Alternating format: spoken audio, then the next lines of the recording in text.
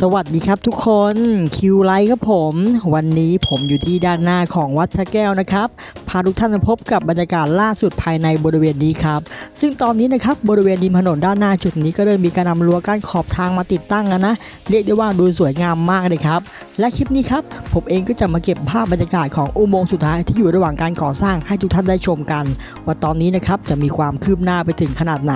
ส่วนบรรยากาศตอนเย็นในจุดนี้จะเป็นยังไง จะมีนักท่องเที่ยวมาเดินชมที่นี่มากน้อยขนาดไหน ยังไงมาชมคลิปนี้ไปพร้อม ๆ กันเลยครับ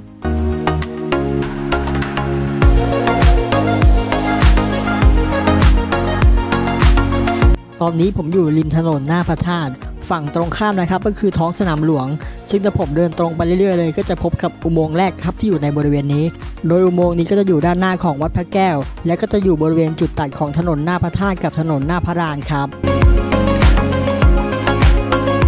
ในวงกลมสีแดงก็คืออุโมงค์ที่ใหญ่ที่สุดในบริเวณนี้ และก็เป็นอุโมงค์แรกนะครับที่ผมจะลงไปถ่าย ส่วนในวงกลมสีส้มก็คืออุโมงค์ที่อยู่ระหว่างการก่อสร้าง ส่วนในวงกลมสีเหลืองก็คืออุโมงค์ที่อยู่บริเวณท่าช้างลอดใต้ถนนมหาราช และก็เป็นอุโมงค์แห่งแรกในบริเวณนี้ที่เปิดให้บริการครับ ตอนนี้ผมลงมาที่อุโมงค์แรกเป็นที่เรียบร้อยนะครับ ช่วงเวลาที่ผมมาถึงที่นี่ก็ประมาณ 15นาฬิกา40นาทีสำหรับเวลาที่จะเข้าไปเยี่ยมชมความสวยงามภายในวัดพระแก้วก็จะเข้าได้ตั้งแต่เวลา8นาฬิกา30นาทีถึงเวลา 15นาฬิกา30นาทีครับ ซึ่งตอนที่ผมมาถึงที่นี่ก็ไม่สามารถเข้าไปชมภายในวัดพระแก้วได้นะครับแต่ก็จะเห็นนักท่องเที่ยวทยอยเดินออกมามากขึ้นเรื่อยๆครับสำหรับอุโมงค์แห่งนี้ก็จะอยู่บริเวณจุดตัดถนนหน้าพระธาตุกับถนนหน้าพระราน ระยะทางก็จะอยู่ที่ 96 เมตร ความลึกจะอยู่ที่ 6.6 เมตร ด้านในก็จะประกอบไปด้วยโถงพักคอยพร้อมห้องน้ำชายจำนวน 21 ห้อง ห้องน้ำหญิงจำนวน 51 ห้อง ทางขึ้นลงทั้งหมด 4 จุด ระบบบันไดเลื่อน มีชั้นลอยเป็นห้องเครื่องสำหรับงานควบคุมระบบ พื้นที่รวมจะอยู่ที่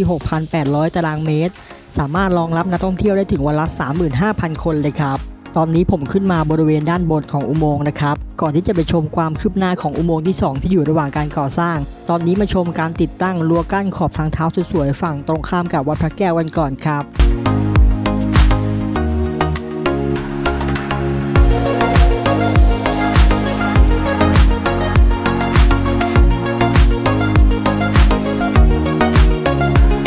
มองตรงไปที่บริเวณขอบทางเท้าทางด้านหน้า ตอนนี้ก็มีการนำรั้วมากั้นขอบทางซะสวยงามเลยนะครับเท่าที่ผมดูก็มีระยะทางการติดตั้งรั้วไม่ยาวสักเท่าไหร่ครับ ตั้งแต่ถนนหน้าพระธาตุนะครับ แล้วก็เลี้ยวโค้งจุดนี้มาถึงบริเวณด้านฝั่งตรงข้ามกับประตูวิเศษชัยศรีครับ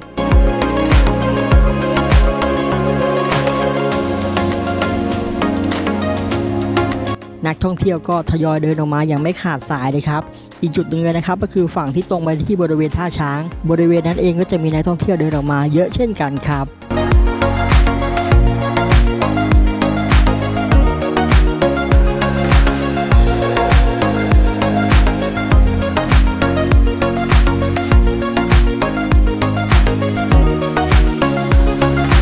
ด้านหน้าจุดนี้คือประตูวิเศษชัยศรีครับ ซึ่งก็คือประตูเข้าไปภายในวัดพระแก้วนะครับ ส่วนทางออกก็จะอยู่ประตูถัดไป คือประตูวิมานเทเวศครับ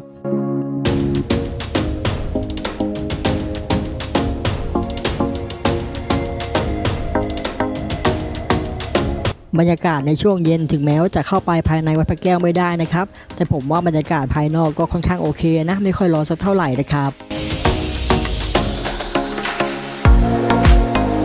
ถ้าเรามองตรงไปที่บริเวณฝั่งตรงข้ามนะครับ ก็จะเห็นกับบันไดเลื่อน ซึ่งจุดนี้เองก็เป็นอุโมงค์ที่ 2 ครับ ที่อยู่ระหว่างการก่อสร้าง จะอยู่ด้านข้างกับที่ทำการไปรษณีย์ไทยสาขาหน้าพระรานครับสำหรับอุโมงค์แห่งนี้ก็จะมีระยะทางแค่ 37 เมตร ประกอบไปด้วยทางเดินลอดใต้ดิน และทางขึ้นลงทั้งหมด 3 จุด ระบบบันไดเลื่อน พื้นที่รวมจะอยู่ที่ 390 ตารางเมตรสำหรับทางขึ้นลงก็จะอยู่ภายในอาคารด้านหน้าจุดนี้นี่แหละครับถ้าเราไม่สังเกตก็จะไม่รู้นะนึกก็เป็นร้านค้าทั่วไป แต่นี่แหละครับก็คือทางขึ้นลงจะอยู่ภายในอาคารครับ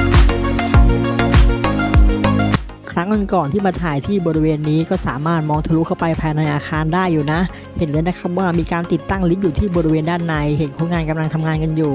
แต่มาตอนนี้ก็ไม่สามารถมองทะลุเข้าไปด้านในได้นะ ผมเองก็เลยไม่ทราบว่าตอนนี้มีความคืบหน้ามากถึงขนาดไหนนะครับ เอาไว้ถ้าอุโมงค์แห่งนี้เปิดให้บริการเมื่อไหร่ เดี๋ยวผมมาจัดให้ชมอย่างแน่นอนครับ ยังไงก็กดติดตามแล้วก็รอชมทางคิวไรได้เลยครับ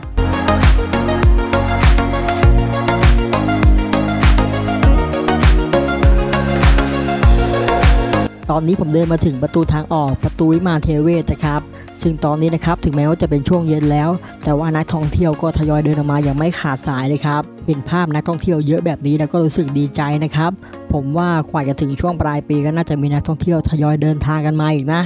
ยังไงเราเองก็ช่วยกันเป็นเจ้าบ้านที่ดีครับช่วยกันดูแลรักษาความสะอาด เพื่อความสวยงามของประเทศเราครับ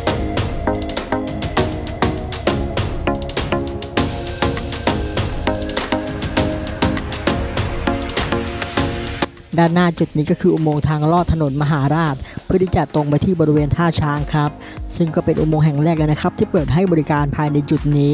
ซึ่งอุโมงค์แห่งนี้ก็เป็นอุโมงค์ที่มีระยะทางอยู่ที่ 90 เมตร ความลึกจะอยู่ที่ 4.7 เมตร ด้านในก็จะประกอบไปด้วยโถงทางเดินพร้อมห้องน้ำชายจำนวน 15 ห้อง ห้องน้ำหญิงจำนวน 20 ห้อง ทางขึ้นลงทั้งหมด 2 จุด ระบบบันไดเลื่อน พื้นที่รวมจะอยู่ที่ 1,150 ตารางเมตร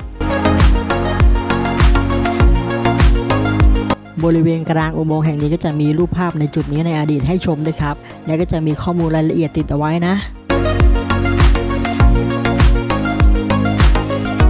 ด้านหน้าจุดนี้ก็คือบันไดเลื่อนที่จะขึ้นไปที่บริเวณท่าช้างสำหรับท่านใดที่ต้องการจะขึ้นไปต่อเรือด่วนเจ้าพยา ไปต่อเรือข้ามฟากข้ามไปที่ฝั่งธนบุรีฝั่งของโรงพยาบาลศิริราชก็ขึ้นที่บริเวณนี้ได้ครับ แล้วก็ตรงขึ้นไปนะครับ จะพบกับท่าเรือท่าช้างอยู่ด้านหน้าจุดนี้เลยครับ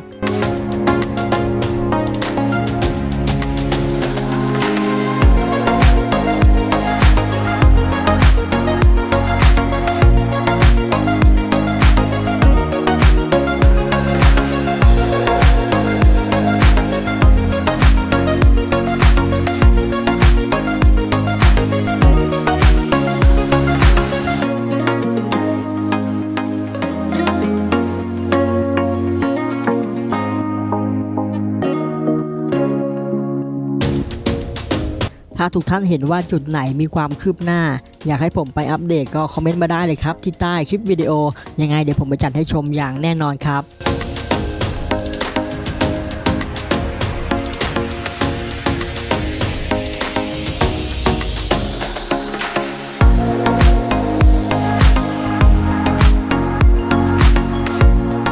ช่วงท้ายคลิปแบบนี้ก็ขอฝากไว้เหมือนเดิมนะครับ ถ้าใครต้องการจะสนับสนุนช่องเราก็ไปกดคำว่าขอบคุณได้เลยครับ ที่ใต้คลิปวิดีโอ หรือไปกดคำว่าสมัครสมาชิกก็ได้นะครับ ผมเองก็จะนำรายได้ส่วนนี้ครับมาใช้จ่ายในการเดินทางมาใช้จ่ายในการพัฒนาช่อง